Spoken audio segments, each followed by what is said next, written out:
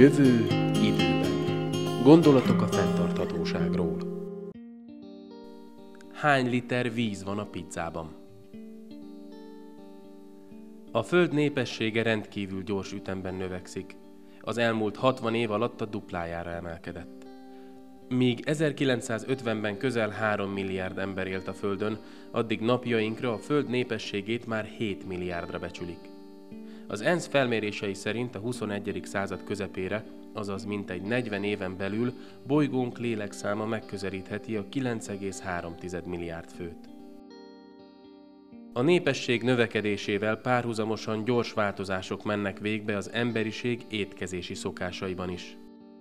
Ennek következtében a világ élelmiszer szükséglete 40 éven belül akár 70%-kal is nőhet, miközben az élelmiszerek előállításához szükséges friss édesvízkészletek jó esetben is változatlanok maradnak.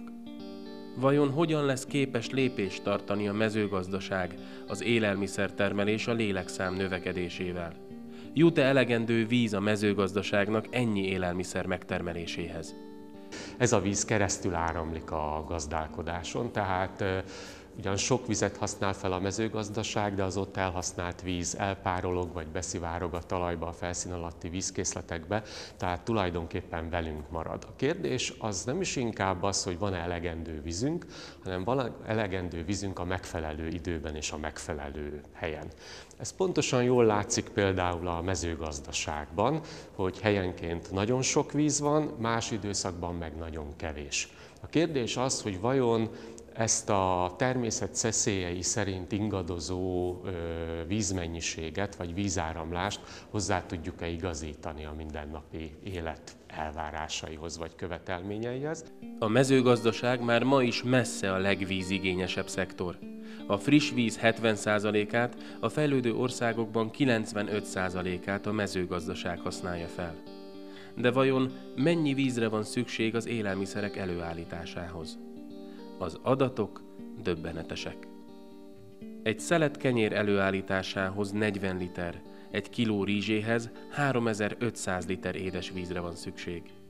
Egy csésze kávéhoz 140 liter, egy hamburgerhez 2400 liter. Globális kereskedelem az egy virtuális víz forgalmat idéz elő, és ez komoly víz problémákat vezethet olyan országokban, amelyek kénytelenek termékeket árusítani azért, hogy megéljenek, de termeléshez és a termés növeléséhez nem rendelkeznek elég vízzel. Tehát rossz esetben ez azt jelenti a virtuális víz problémája, hogy a víz hiányos területek növekednek, gyarapodnak, és ez nyilvánvalóan rendkívül kedvezőtlen mértéket ölhet. A mezőgazdaság mellett az ipar is komoly vízfogyasztó. A friss vizek 20%-át az ipar használja fel.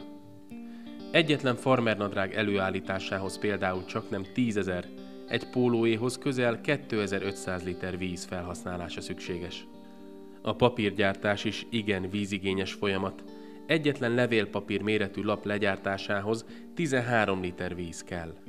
Közel 8500 liter vizet használunk a cipők készítéséhez, különösen a bőrből készült lábbelik esetében hiszen a takarmány termőföldek legelők öntözéséhez, az állatok itatásához mind-mind értékes édesvízre van szükség.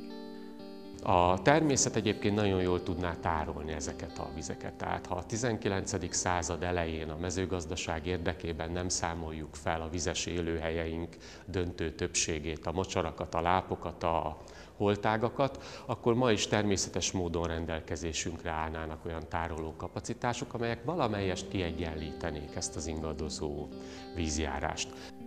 A világ népessége rohamos ütemben nő, és ezzel párhuzamosan emelkedik az ipari és a mezőgazdasági termékek fogyasztása is. A több termék előállításához egyre több víz felhasználása szükséges, ám a Földön rendelkezésre álló víz mennyisége változatlan. Vajon lesz-e? És ha igen, hogyan és miből lesz elegendő víz az élethez 30-40 év múlva is? A kérdések nyilvánvalók, a válaszok korán sem. Hogy lesznek ezek túlélők, valami itt korcsosul, Kérdezném, hogy száz év múlva ki tud majd itt magyarul.